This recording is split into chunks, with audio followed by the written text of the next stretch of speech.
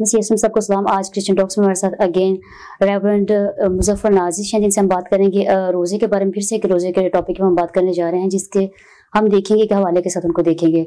Hi brother how are you thank you very much I am fine and you praise the Lord I am good तो brother आज हम बात करेंगे मती नौबा पर उसकी चौदह और पंद्रह आयत के बारे में। मैं आपके सामने रीड करना चाहूँगी। जी जी। इसमें यूँ लिखा है उस वक्त योना के शागिर्दों ने पास आकर कहा क्या सबब है कि हम और फरीसी तो रोजा रखते हैं और तेरे शागिर्द रोजा नहीं रखते? यसु ने उनसे कहा क्या बराती जब तक दुल्हा उनके साथ है मातम कर सकते हैं? मगर वो दिन आएँगे कि दुल्हा उनसे जुदा किया जाएगा।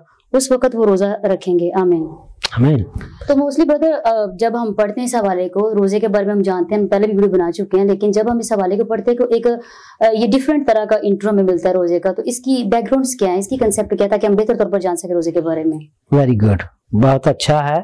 और ये बड़ा यूनिक सा हवाला है। अ, वैसे तो आम पढ़ने में ऐसे लगता है जैसे सवाल कुछ और पूछा गया है जो आप कुछ और है। कुछ और दे दिया गया है। ऐसी बात नहीं है। इसको इस हवाले की बड़ी खास बैकग्राउंड है।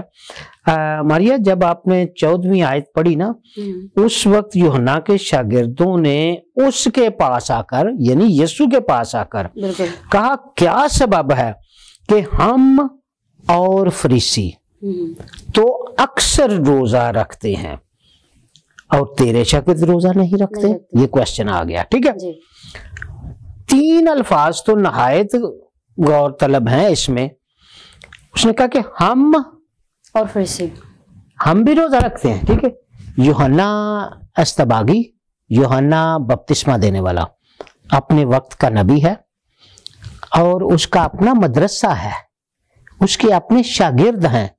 वो आगे लोगों को ट्रेंड करता है जिस तरह यीशु मसीह ट्रेंड करता है। हम्म, ठीक है टीचर ठीक हो गया वो उस्ताद है खुद भी।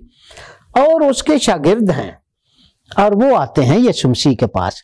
वो कहते हैं हम हम यहूदी अक्सर रोजा रखते हैं।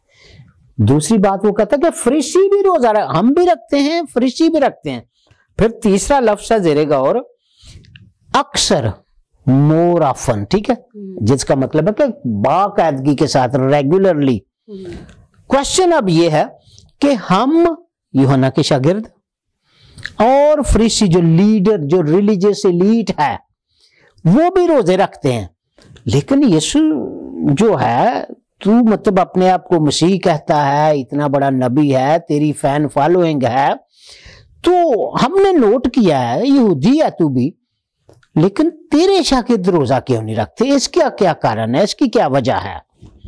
तो यीशु मसीह का जवाब बड़ा अजीब है। मैं तो बड़ा हैरान हुआ।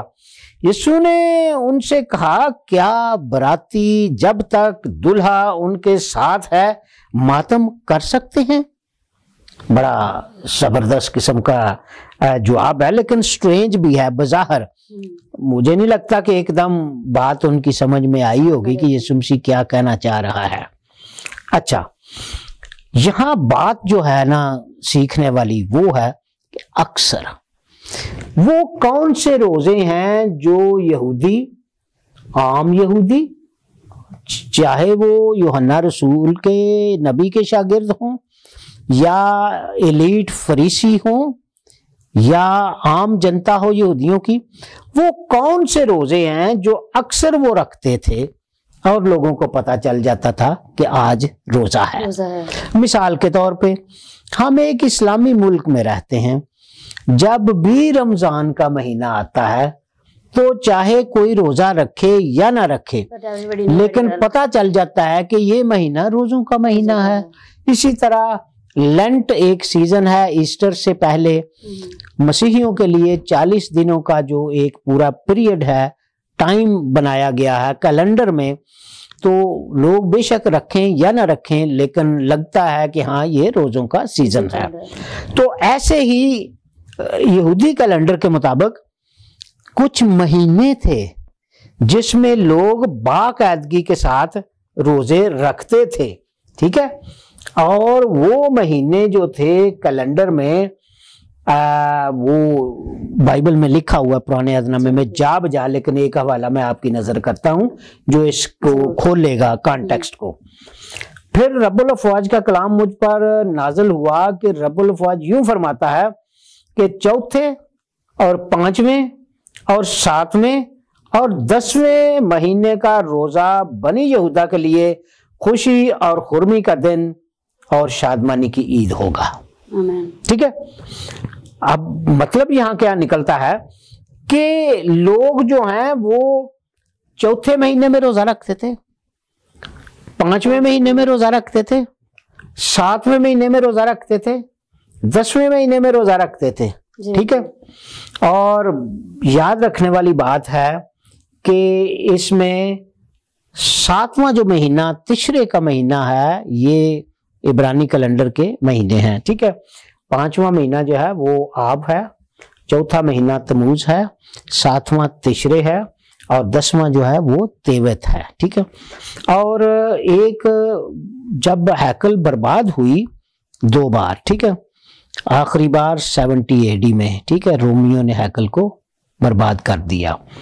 तो ये लोग जो थे खास तौर पर बनी इसराइल के लोग ये हैकल की बर्बादी के ऊपर रोजा रखते थे मातम का रोजा रखते थे अपने आप को बल्कि जख्मी भी करते थे कि हमसे खुदा का घर छूट गया हमसे खुदा छूट गया हमसे खुदा रूठ गया खुदा हमारे पास है ही नहीं है। और आपको पता कि आज भी यरूशलेम में जो हैकल वाली जगह है, उसके साथ एक दीवार है, जिसको वेस्टर्न वॉल कहते हैं। इब्रानी में उसको कोतल कहते हैं, ठीक है? अंग्रेज़ी में वेस्टर्न वॉल, अंग्रेज़ी में उसके दो और नाम हैं, वेलिंग वॉल भी उसको कहते हैं। उर्दू में उसको दीवारे गिरिया, रोने वाली दीवार कहते हैं। यानी वो दरअसल हैकल की बाहर की बाउंड्री जो हैरोदीस बादशाह ने बनवाई थी उसकी वेस्टर्न हिस्सा जो है मगरबी हिस्सा वो उस दीवार का बचा हुआ है जो बिल्कुल बर्बाद नहीं हुआ था बाकी सारी हैकल तबाह बर्बाद हो गई थी। और यहूदी जो हैं आज भी वहाँ जाते हैं कई लोग धाड़े मार मार कर आज भी रोते हैं। ऊँची ऊँची वहाँ तलावत करते हैं जबूरों की और बाइबल के मुख्तलिफ़ हिस्सों की। जी, बिल्कुल, अगर हम कजात की बाबर किताब में उसके बीस वापस छब्बीस में लिखा हुआ मिलता है कि बनी इसराइल बैत एल में आए और वहाँ उन्होंने खुदा समय बैठे रोए, मातम किया और सारा दिन रोजा रखा। यानी कि ओल्ड टेस्टामेंट में हमें इसकी तस्वीर मिलती है। शाबाश वेरी गुड बहुत अच्छा ये आपने पॉइंट आउट किया। एग्जैक्ट मातम का रोजा। हम्म, तो बात करने का मकसद ये है कि ये जो दीवारें गिरिया है ये इस बात की मैं वहाँ गया हूँ। हम्म, ये इस बात की अलामत है कि वहाँ अब हैकल नहीं है। हम्म, ये हैकल की बैरूनी दीवार थी एक्सटेंडेड जिसका ये थोड़ा सा हिस्सा बचा है। ठीक है? अब लोग क्या करते थे? कि अक्सर रोज़े जो रखते थे उन रोजों में एक मातम का रोजा था जिसकी तरफ़ आपने भी इशारा किया है। मातम का रोजा था था, शरी था फिर उसमें ये शख्सी रोजा था। एग्जैक्ट तीसरी रोजा था जो वो उसकी जो पाक शराकत की तैयारी से पहले चेक करते रूहानी तौर पर तैयार जी लेकिन यहाँ जो मातम का रोजा है ना ये जानने की ज़रूरत क्या था?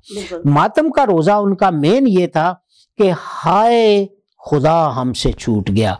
खुदा। का घर बर्बाद हो गया। हम्म, वो इसलिए मातम करते रोते।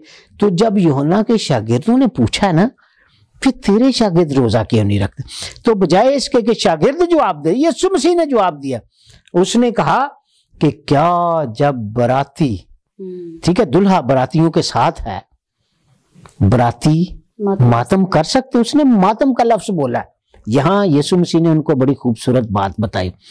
उसने कहा, देखो, आप क्यों मातम का रोजा रखते हो, अक्सर जो रखते हो? इसलिए कि खुदा उनके पास नहीं है। देखो आई एम हियर मैं आपके पास मौजूद हूँ। आई एम द गॉड मैं हूँ। जो मूसा को खुदा ने कहा, मैं जो हूँ, सो हूँ।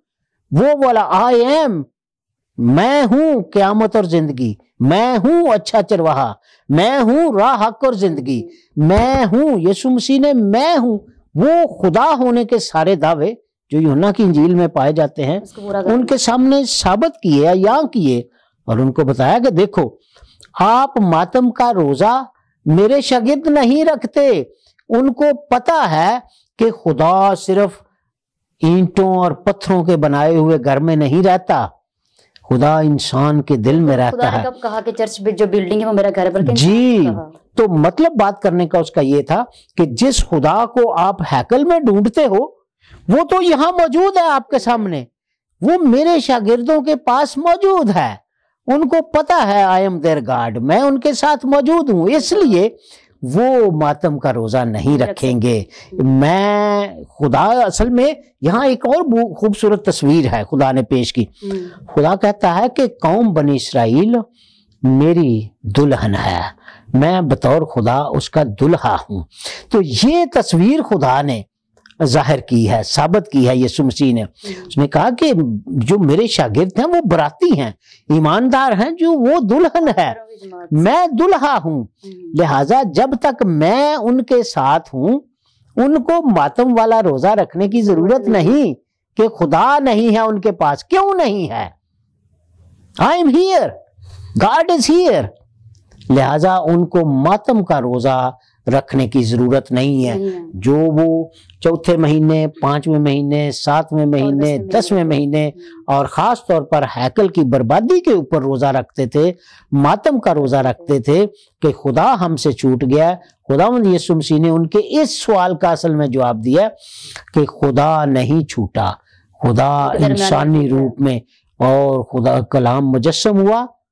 और हमारे दरमियान रहा। हमने उसका ऐसा जलाल देखा जैसा बाप के इकलौते का का। जलाल। ठीक है? तो लिहाजा वो कहता है कि मैं खुदा का जलाल हूँ। मैं खुदा खुद हूँ जो आपके पास आया हूँ। लिहाजा नो मोर मॉर्निंग मातम की कोई ज़रूरत नहीं है। हाँ रोजा रखेंगे जब मैं इनके पास नहीं हूँगा और वाकई रखा जब यीशु मसीह आसमान पर चला गया शागिर्दों को ज़रूरत पड़ी। कि उनको ग्यारहवें बारहवें शागिर्द की जगह बारहवा रसूल लाना है हाँ क्योंकि इस। इस यहूदा इस्करियोती ने खुद खुशी कर ली थी लेना तो। हम्म, जब यीशु मसीह आसमान पर चला गया तो फिर उन्होंने रोजा रखा खुदा से रहनमाई लेने के लिए विजडम और फैसलों में डिसर्नमेंट के लिए रोजा रखा। लिहाजा खुदावंद यीशु मसीह का वहाँ मत्ती नौ पंद्रह सोलह में चौदह पंद्रह आयात में मतलब बात करने का यह है कि तुम्हें इस वजह से मातम का रोजा रखने की ज़रूरत नहीं कि हमारे पास खुदा नहीं। क्यों नहीं? खुदा तो मैं हूँ हम्म, और मैं आपके पास हूँ और मैं हमेशा आपके साथ रहूँगा. ठीक है? आमीन थैंक यू भाई बहुत खूबसूरती से आपने बताया कि इस जो हवाले का एक जो रेयर कॉन्टेक्ट क्या है और हमें किस हम्म, तरह से इसको लेना चाहिए ताकि हम मजीद इसको कलाम को बेहतर तौर पर जान सकें। Thank you so much praise Lord and thank you for coming here thank you it's my pleasure God bless you और मेरा ईमान है कि लोग हमारे इन क्लिप्स की वजह से वीडियोस की वजह से कलाम की वजह से बरकत पा रहे हैं। प्लीज़ बरकत पाते रहिए और हमारे लिए दुआ भी करते रहिए। खुदा आपको बरकत दे। आमेन थैंक यू